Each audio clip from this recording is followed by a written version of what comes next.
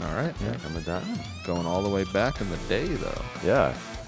Remember when you brought it up? He's like, "Can we get a guy from this era?" And I'm like, "I've got your guy." Yep. Mm-hmm. Straight up, man. This is a good one. Power hitter extraordinaire that nobody kind of remembers.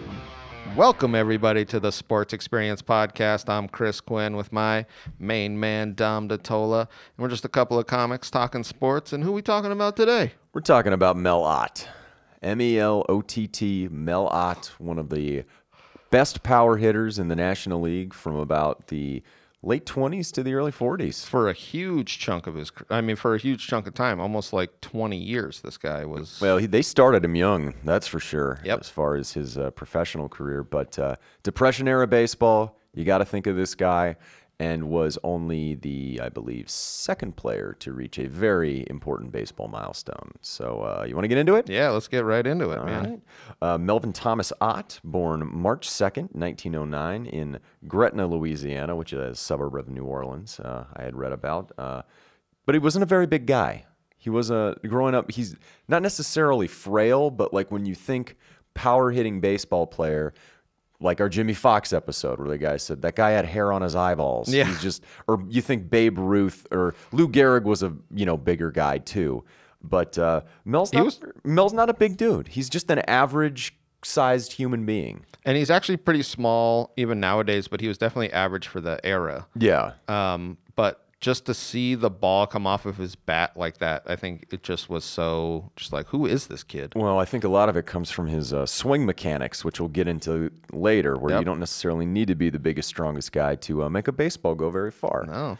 um, was uh, uh, during high school. He played on a semi-pro team three to four times a week. So he's like 14 years old, playing with just adults and basically like glorified Sandlot games. Yep. And he's doing quite well actually against He was these one of the guys. better guys on the team. Mm-hmm. And we know this because we were talking about this before the podcast. They would do this thing called passing the hat around, where if you got a hit or a home run that ended a game and you really won the game for him, you would get all the money that people were throwing in this hat. So, like, he was making money in high school playing baseball. It's like a you know baseball collection plate Yep. almost. You know, without the horrible things that come along with it. But um, anyway, no, um, he's totally dominating in this era or um, at this level, um, and uh, which totally would have been an NCAA violation, by the way. You know, getting money for playing baseball. the audacity. But uh, his hometown minor league team, the New Orleans Pelicans, not the basketball team that uh, currently exists. Um, he was so small that they didn't want to sign him, though. they didn't even want to give him a tryout. Yeah, So this was what I found so ridiculous was he was dominating in these little semi-pro games with these guys who were essentially going to this Pelican team and they were just like, "Nah, he's just too small. We don't want anything to do with him." it's not. But I mean, he's 5'9", 170 pounds as a professional. Maybe he's a little bit smaller, but like even for that era, that's not like tiny. And it's like, are you watching any of these games? Yeah, I know. Are you watching what's happening out there? Or are you just looking at his body frame? Yeah, That's- yeah. That's bad baseball scouting. I mean, if you is. guys call me Squeak 15 or 16 more times, I'm out of here. Dude, you couldn't get a chick if you had a hundred dollar bill hanging out of your zipper. But uh, he found a job at a lumber company in Patterson, Louisiana. Um, This was something that I was interested to know, and I know we probably will never know. But he gets a job at a lumber company and joins their team right away. Yeah. I was wondering if that's why he got that job. Was like, oh, it's like The Simpsons. It totally is. Yeah. Was, was this lumber company team actually pretty good? And he was like, well, I'm going to go show them on this semi-pro team that yeah, I also can get a day job. he You like know? doesn't even like he doesn't even uh, like go to work or Yeah. he just like smokes a cigarette like out by the John or something like that. But uh, Henry Williams, who owned the lumber company, he puts him on the. It's like a fucking beer league or freaking beer league softball team. Yeah, no, it totally is. He puts him on the uh, the team and he just starts you know clobbering people, just starts raking, raking. and like- then yeah, And uh, Henry Williams, the owner of the company, was like, This kid's really good and he deserves an opportunity. He knows a certain gentleman named John McGraw, the owner, manager, pretty much do everything person of the New York Giants, the baseball Giants, by the way. We're still in the uh, We're teens still and in the- 20s. yep. Yeah. But um, he wants him to take a look at him for a tryout. Um, and McGraw's like, I'm not going down to Louisiana. I'm just like, I'm not going to do it. So Williams is like, all right, I'll do you one better. I'll buy the kid a train ticket. I'm sending him up to New York. Well, that's how much confidence he had in this kid, which is so awesome to see this minor league team be like, no, we don't want anything to do with you. And then literally this guy just be like, no, this kid is so good. I'm going to pay out of my own pocket to send him to the to New York to get a tryout with the Giants. Could you imagine though, like just going from New Orleans to New York and you've probably never been outside of Louisiana Oh. once in your life and just going on that train and passing stuff like what the hell is going on? And I'm mind sure. you, he is only about 16 years old right now. Yeah, he's still a kid. He's in the eyes of the law a child, but I mean back in those days I'm sure it was a hard 16. in Oh, the yeah. 20s. But uh That's very true. That is very true. I, I imagine 16 was a little bit different back then. So. yeah, full beards, drinking beers. But let me say this: he's also small of stature, so he might even have looked 14 at this time. Yeah, he probably just shows up and someone's like, "Hey, Bat Boy, Yeah. come here." um, yeah, but he came in September 1925, so yeah, he's 16 years old, and impressed everybody, including McGraw, during this tryout. Um, McGraw even said Yep. he had one of the greatest, uh, one of the greatest left-handed hitters in the National League he had ever seen. So I mean, and that guy's seen baseball since the beginning, up until this point. Um, And this is when he's 16. That's why I thought was so. I mean, he sees him and he's just like he's going to be a great hitter for yeah. I because He played 22 just, seasons. I was gonna say because teams just did not let players go. I bet John McGraw saw was just like, yes, that's my left-handed hitter for the foreseeable future. Yeah, So I'm going to put him in that lineup with some guys we'll get into later, and they're going to do some very good things for my uh, baseball franchise. I thought it was interesting. Originally, he was a catcher, Yep. and and McGraw said, "You're too small to be a catcher. You're not too small to play for me, but I can't have you being a catcher just getting run over." Yeah, in that era any too. play, yeah. and just the wear and tear on your body. Oh, but yeah. you know, you got a strong arm as a catcher. Let's put him in the outfield. Yep. and that's what he did. Uh, signs the his first contract January 1926. Um, not even 17 years old when he signs that professional baseball contract for Major League Baseball, not like a minor league. T- He's not playing for those Pelicans. He's playing for the, you know, benchmark franchise in the National League at that Yeah. time in 26 uh, and 27, uh, played part time just due to his age and due to his size. And I think getting to know the outfield more too. That Yeah. was something else because I saw that it was a lot to do to that, but I feel like he was getting to know the game, and then you remember. Oh yeah, he's 16, 17, 18 when he's doing this. Like he's still a kid. Yeah. So like he, he might not even have fur on his peaches at this juncture. But uh, in uh, 26 and 27, he plays 117 games combined, uh, nine doubles, three triples, a homer, and uh, 27 RBIs. So it's not like bad. They they're kind of easing him in. This almost reflects the Jimmie Foxx career arc. Yeah. Granted, Otts lasts a lot longer than Foxx does, but that similar career arc where you're like, all right, well, we have this teenager.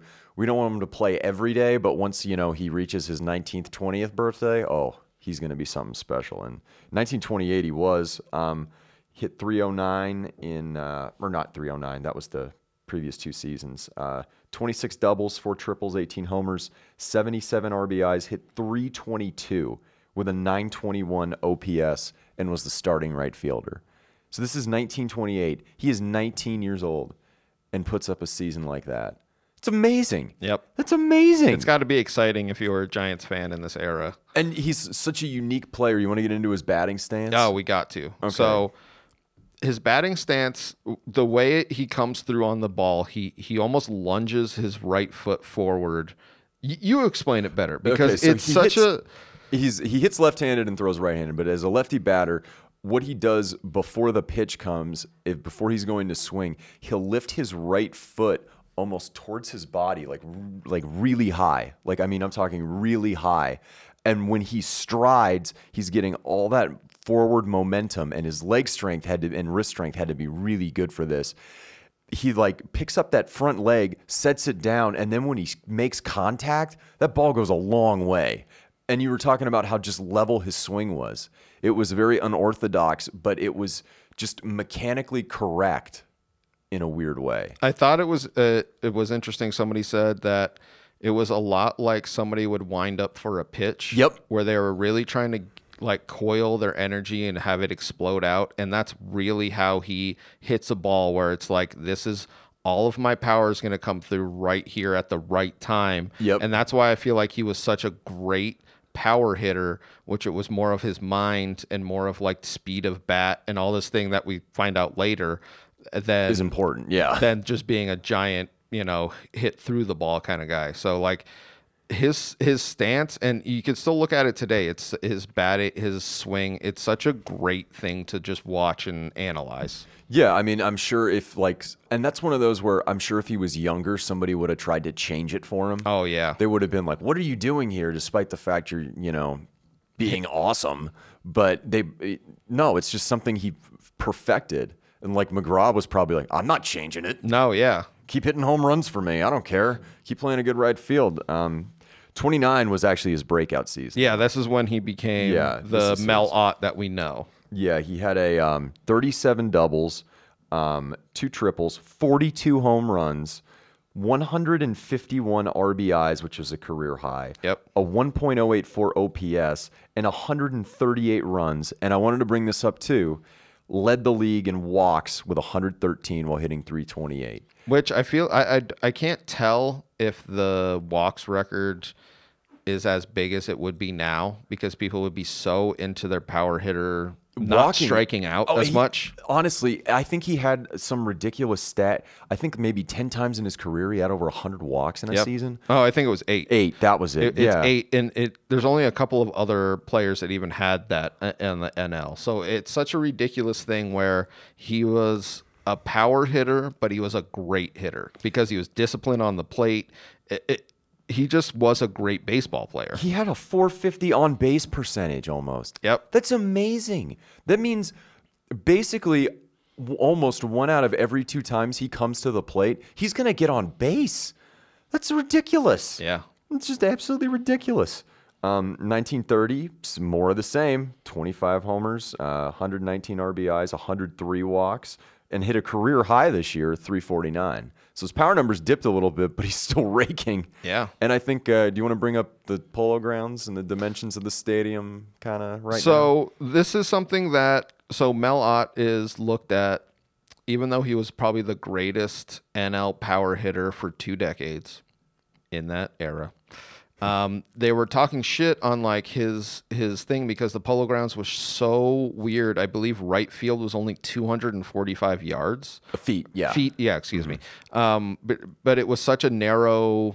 It was a narrow little porch. Yep. And even left field was a little bit similar. But the thing was, people all, and they said this, I'm not saying it, they would call, say he would hit Chinese home runs over that short porch because men of their time, right, Chris? That's Right, Just men but of their time. what they were referencing were short home runs and Yeah. almost like little gimme uh, line drive home runs. And the the his detractors would say like, oh, that's all Mel does, all the blah blah blah blah blah. But in this era, he actually had more like in the 30s. He actually had more away home runs than he had home home home runs. But what I Like want to bring up, though, and you're right about the polo grounds is yes, you have that short porch and right. How many of those home runs turned into doubles or triples because the power alleys and dead center field was like a ridiculous amount of feet away? Yeah. Like Re- Willie Mays is the catch, the famous one in the 54 World Series. That game's at the polo grounds. Vic Wertz hit that ball about 500 feet and it stayed in the yard. Okay, the power alleys at the old polo grounds were ridiculous. So I would say it all kind of comes out in a wash Yeah. as far as his numbers. Well, this is what he said. He said if it was so easy for guys to just to be plunking balls over these uh, the, into the porch, why wouldn't everybody do it? Yeah, it was such a great where you're just like, oh yeah, I guess it's not happening as often as we think it is. yeah, and it doesn't matter if it's 247 feet. If you hit the ball 400 feet down the right field line, it's gone in any park. Yep. Maybe except Yellowstone. um, 1930. Um, this is when the Giants are kind of starting to put together a pretty good team as far as um, the talent around Mel as well. Uh, 122 runs, 25 homers, 119 RBIs. Uh, oh wait, no, no, we're into 31. I'm sorry, right now. Um, 104 runs, 23 doubles, 29 homers, 115 RBIs, um, and hit uh, 292 but uh, he led the league with 80 walks. So he's still filling up that stat sheet. Yep. Um, 32, a- again, and he's a run, not only a run producing machine, he's a run scoring machine. The amount of 100 plus run seasons Mel Ott had was ridiculous. 38 homers, led the National League, 123 RBIs, led the league again with 100 walks, and a 318 batting average to boot, and over 1,000 OPS. And then we get into 33, 33 which is, is their their best year. Which is their year, and they actually have a couple of good years coming in. And this is what I always say is like teams get close to having, you know, multiple championships. It's it almost is like a so dynasty, Hard. yeah. it is so hard to because you can get there, but to actually win these championships is ridiculous. So 33, Um, they start off different because they have a new manager. Yeah. Uh, player manager Bill Terry, who's also their first baseman. And if you did not know, Bill Terry was the last National League player to hit over 400. oh dang, Yeah. that's cool. Yeah, I didn't know he was that. a great. He's a hit, great hitter, Hall of Famer. Yeah. maybe Tony Gwynn could have, but no, Bill Terry, uh, yeah, last guy. Um, Carl Hubbell was pitching with his amazing screwball, um, all time great Hall of Famer. Um, and uh, yeah, they head into 33. No John McGraw for the first time. Yeah. which is kind of interesting, but uh, Mel does a pretty good job that year Yeah, well, game one of the World Series. Mm-hmm. This is against the Yankees, right? Uh, against the Senators. Against the Up Senators. until a couple of years ago, Yes. this was the last time a World Series game was played in Washington D.C. yes. So yeah, uh, get into it. Awesome. Game one. Let's Game get into one, game one of the World um, Series, and then I'll do the regular season after. He just starts off. Yeah. Right away. Two run shot.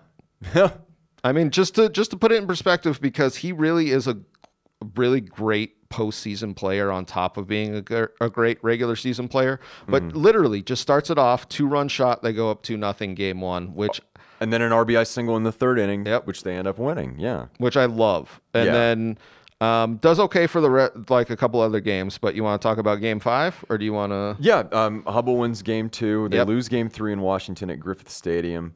Um, in the fourth game, um, they win uh, two to one in 11 innings, Yeah. which was very important because they, they went up 3 1 instead of being tied at two. Um, and in game five, um, it's a pitcher's duel, a very long, arduous pitcher's duel. And It's one one for like ever, right? Yeah. Mm-hmm. Uh, yeah. Game. Uh, yeah. Game five. In in the top of the tenth inning, Mel Ott comes to the plate with the game tied, and he hits himself a dinger off of Jack uh, Jack Russell, and they are world champions. Yeah. That was their last. Ti- I think that was their last title up until fifty four. I want to say. Well, I just want to point this out and why it's such a great World Series for Mel Ott is literally the series starts with him hitting a two run home run bookends it. and right? it ends with him hitting a two run home run. So it's just like it's such a great thing. And he had a 500 on base percentage in this World Series. His OPS was 1.222. yeah, so good. Oh man, and coming off a regular season, this might have been one of his more down regular seasons. Did you not know that? Yeah, well, I saw that he won the home run. He was the home run leader in the NL in 32 and 34, but in 33 they won that championship. So Mm-hmm. Yeah, yeah. got to 23 home runs only that year and uh, 103 RBIs. But yeah, he hit. I think he hit the lowest of his career when Yeah. he was a regular player. He only hit 283. But man, did he come through in that World Series? Yep. Oh man. Uh, 34 and 35. This is where this is prime Mel Ott. This is like kind of the numbers that he's putting up are ridiculous for this era, and he's arguably the National League's best player. Yeah. Uh, 34. They end up finishing second behind the Cardinals because in those days it was just an American and National League. They didn't even have a championship series. So unless you won, Unless you won, you- yeah, you, you don't weren't go going. the World Series. Yeah, Yeah. It was uh, named All Star for the first time. He made 11 All Star games. Yeah, and then he le- didn't he make 11 consecutive at that point? Mm-hmm. He yeah. did, yeah. So from basically from now until the end of World War II Yep. is Mel Ott's in an All Star game. Um, uh, 10 triples that year, which was a career high. 35 homers, like you said, to lead the National League. 135 RBIs to lead the National League. Had his batting average been higher, he would have won the Triple Crown. Yep. Um, it, that's not to say anything bad. He hit 326, but obviously with Bill Terry in your lineup, you're not going to end up doing that. Um, 35 again, an All Star, 113 runs, career high 191 hits. So he's 26 now. So this is like the prime what you're getting out of him. Uh, 31 homers, 114 RBIs, and hits 322. It's just like consistently throughout the 30s. That's just the stat line you're going to get from him. And then 36, they go back to the World Series. They do. They finally win. They win the pennant again. Um, career high 120 runs that year, 28 doubles, 33 homers. Led the league again in RBIs, 135, 111 walks, hit 328. Led the league in slugging percentage and OPS too. So like you're talking about one of the best offensive seasons from somebody in the 1930s who's not a contact hitter. Yeah. You know, like I mean, an actual power hitter. Um, 36 though, they end up going to um, the World Series and play the Yankees. This is, yeah, where they played the Yankees. And well, they lose in six games. Yeah. Not much to say about that. Um, And he has an okay. He, I mean, I think he hits seven and has one home run, but it was just not a great World Series for the Giants. Yeah, it- especially for this New York, New York uh, lineup. Yeah, right. The not the Subway Series because that's No, that's- non-existent. That's yeah. the Mets. But uh, The damn trolley series. Yeah, right. Oh, yeah. 1937. Um, they, like you said, they win the pennant again, um, leading the league in home runs again. I mean, I wish they had home run derbies back in those days. Like That would have been him, so awesome. like with Jimmie Foxx and Mel Ott. Like, just, Ruth and just hitting it out. Ruth's just ripping cigars. know, he's just like eating a hot dog Yep. hanging out of his mouth. Just like tells him to hold on, eats a hot dog in the middle of it. That's the kind of shit I wanted to see. leads the league in walks again, um, 931 OPS, but they lose to the Yankees in five games in this World Series, and he doesn't do particularly well. He only hits about 200, but he does Yep. have a home run. Every World Series he played in, he hit at least one home run, which is pretty awesome if you ask me. That was one of his uh, detractors. Is that they said his uh, batting average was a little bit low for somebody, but other guys didn't have the walks he had, so it was kind of like that give and take where. Yeah, and who the hell cares? You won the pennant. No, I know. Like- well, that's why because people aren't like remembering him like they remember Jimmie Foxx or a or a Babe Ruth, and people are like they should because he was literally the best hitter in the in the National League for like all of the 30s and early 40s. And I find it strange because it's not like he played on like a second team in a big market like a Boston Yeah. Braves or a Yeah. Philadelphia Athletics or he played in like a smaller city. He's playing in New York. I know it's One of the ridiculous. flagship franchises in the National League at that time. Uh, 38 All Star again, 116 runs, 36 homers, 116 RBIs. 39 All Star again, 27 homers, 80 RBIs. Led the league in on base percentage again, 450. Jeez. I believe in 38 he passes Roger Hornsby for the He did, yeah, National, National League, League home home run run. leader, and then wasn't passed himself until Willie Mays came up. So just to put that in perspective, he definitely was a guy who put up numbers every single year. So if you're thinking NL all-time outfields, guys at each specific position, if you're the New York slash San Francisco Giants, you have Mel Ott in right field, Willie Mays in center, and some guy named Barry Bonds in left field. If God, I'm trying to calculate that. That's got to be probably 1,900 home runs. I was just going to say, could they get up to 2,000? I don't know. That's a good uh, stat line. They'd be close because I think between Mays and Bonds, it's like 1,400 yeah, plus. it's So, probably yeah, 19. So something in there. Ah, that's good. Yeah. That's quite the outfield. Oh yeah, 1940. This is kind of where you see his productivity start to dip once the 40s kind of start. Um, still an All-Star, uh, but only 19 homers and 79 RBIs. Um, his batting average dips below 300 to 289. Um, still at 100 walks, so it doesn't matter how old you get, you can still have a good eye on the ball. Uh, 1941, 89 runs, 27 homers, 90 uh, RBIs, 100 runs again. Um, his OPS though this year finally dips below 900. oh, yep. So, but This is where mind you, he's been playing for 14 years. Yep. In the league, so even though he's not particularly old, he's you know wear and tear on his body. Yeah. Yeah. Um, 42 though he has like almost a renaissance year for himself. Uh, mind you, this is when World War II is happening, so there are service members uh, from teams well, overseas. they were talking about because he was a little bit older, but a lot of the younger talent kind of all went away. Yeah. And I think at this point he actually became player manager. Yeah, player because coach, yeah. that's how little people were around. So I mean, he still had a great, uh, great season. Led the league in homers for the last time with Yeah. 30. That's amazing. 118 runs, 109 walks. Um, his 912 OPS led the league. incredibly. Yeah. But I think that more or less speaks to The what the league was. yeah what the league was at the time. Um, 43, only 18 homers, hit 234. 1944, his last All Star season, 26 homers, 82 RBIs, and 90 walks. He's 35, and he's still doing it. He's still putting up those numbers. and he's an old 35. That's Yeah. the other thing is it's the 15 you know, I mean he joined when he was 16, 17. So it's it's Yeah. quite a lot of just like baseball every single day. And then 45, 21 homers, 79 RBIs, and hit 308. But in 46, he only got uh, four bats. Oh yeah. Yeah, and then no hits in 1947. Uh, but so, uh, yeah, like you said, he kept on managing the Giants, though. Um, he managed from 42 to 48, um, had a slightly sub 500 record, 464 and 530, but uh, finished his career with one team. He's only one of six dudes who's ever played for a National League team for 20 plus years, and the only team he played for. So that's some pretty. Uh, It's pretty amazing. pretty good company that Yeah. he's in. And I uh, just wanted to go over his career stats. Um, career 304 batting average, 2,876 hits, 1,860 RBIs, 1,708 walks.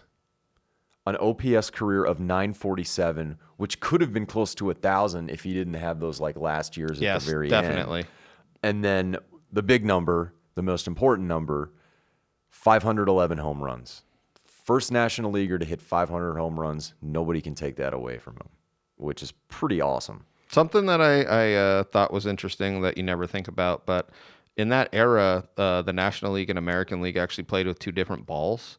Yeah, and they were oh, talking about the. American League had a, a it had a much more of a of spring off of that bat. So I'm just saying, like the the national. wound as tight. Yeah, the National League's ball was a lot fucking harder to hit out of a park. And they were talking about this. They were like, well, the Polo Grounds was easier to hit out of. And they were like, well, they're hitting harder balls. And like, there's Yeah. all this stuff that you have no idea and you can't really equate. But the only thing that I will stand true is he is without a doubt one of the three greatest hitters of this era and probably one of the greatest National League hitters ever. Oh, absolutely. The 500 speaks for itself. Oh, it always does. It just Yeah. That's where it is. That's the number you need to look at. And if you want to get even deeper to see how special he was, you look at the walks, you look at the runs scored, you look at the 480 doubles that he had. The thing that I love was he has almost the exact same runs scored as RBIs. And you're just like, oh, he's getting on base because he's a power hitter. So you're like, he's just driving shit in. No, he's getting on base and coming around too. And that's what I love. Yeah, his career on base percentage of 414, that's ridiculous. Yeah. 40% of the time you go to the plate, you're going to end up on first base. The A's would love him so Yeah, hard. oh, Billy Beane. I Yep. I'm not saying Mel Ott is a masturbatory aid for Billy Beane, but there's a good chance he probably is. Oh, 100%. But uh, yeah, great discipline at the plate. Led the NL in homers six times. Um, and from 28 to 45, I wanted to bring this stat up. He led the team in home runs and RBI or in home runs. And home runs. Yeah. No No, other- player's done yeah. that in the history of Major League Baseball. Has again- ever led their team for 20 years in a single triple crown uh, stat. And he, he led the Giants. 18 years. 18 years, yeah. Who has a career that lasts 18 years to begin with? let alone dominating a home run stat for 18 years. Yeah, it's totally. insane. Oh, it's crazy. Um, but after his career uh, as manager, uh, he worked in the farm system for Carl Hubbell in 1951 and managed the Oakland Oaks of the old Pacific Coast League. Yep. Uh, 1952, they won over 100 games, but sadly finished in second place. um, in 1951, though, that's the big year for him. Uh, elected to the Baseball Hall of Fame, which you know, Obviously. easy. Yeah. obviously belongs in there. Uh, number four was retired by the Giants when he was still managing them. Oh, yeah. in 1948. I think Yep. that's so cool. Um, and uh, yeah, only one of six NFL or and National League players, sorry, um, to uh, spend 20 plus years with one team. Yeah. And then uh, after his kind of you know career with minor league baseball, he gets a job in broadcasting. Yeah, Gets well, a job in broadcasting. he actually takes a couple of years away from baseball, Yeah. and they said it was the first time in like 30 years that he would take time away from professional baseball. Various, you know, Well, if you think about it, he, from the time he was 15, Yeah. 16 years old, his entire life has just been. Ba- he's like a baseball lifer. Yeah. And, um, uh, he yeah. goes back to doing announcing games. So before they were, they could really televise them live. They would get all of the stats and almost do it like uh, in Major League. Where Yeah, he, exactly. He hits the Yep. thing and he's like, "Boop! Oh, there's another hit." So it was Crack him of the bat. Yeah, it was him and this other guy for I think like Van two or, Patrick, yeah, Van Patrick, Detroit Tigers, Yeah, yeah. Uh-huh. for two or three years, and they were doing it, and then 56 to 58. Yeah. tragedy struck, which This is what's really unfortunate because maybe he would have been remembered more Yeah. if he had lived because he would have come out for like old timers games and they would have done like lists and stuff like they do now. The he could have been hitters. he could have been somebody's announcer for like 30 years. I'm sure he would have worked his So- way to San Francisco for something Yep. because by that time they had moved. Uh, in 58 actually yeah so it was a year after or the year that they The moved year- yeah. to san francisco um, november 21st 1958 uh, he died from injuries sustained in a car crash in bay st louis mississippi yeah, a uh, died drunk, in new orleans eventually but a yeah. drunk driver ran into him, 59, died a week after of it from his injuries. he was So, 49 years old when he died that's amazing Yeah. and it probably in great shape for somebody of that era Yeah. you know i mean they don't make them like they do back in the day but yeah what a sh- horrible way to go I know. Like just a tragic loss of life and someone who could have given back more to the game which i'm sure he wanted to do. Yeah, he could have gone in, back into managing or announcing, and we probably would be talking about him more frequently than we do, which we should be talking about him more because he was such an amazing, amazing player. That's why I like this podcast because you know we talk about these guys that were so good, but like are kind of tucked away a little yeah, bit. you forget about them a little bit, but Last thing I wanted to bring up um, is since 1959, the year after he died, the National League, because he led them six times in home runs during his career, their uh, home run champion award is named after Mel Ott. Yep. So that's how important this guy is. Go look him up. He's really interesting and just a almost a freak of nature to watch. and please don't drink and drive. Yes.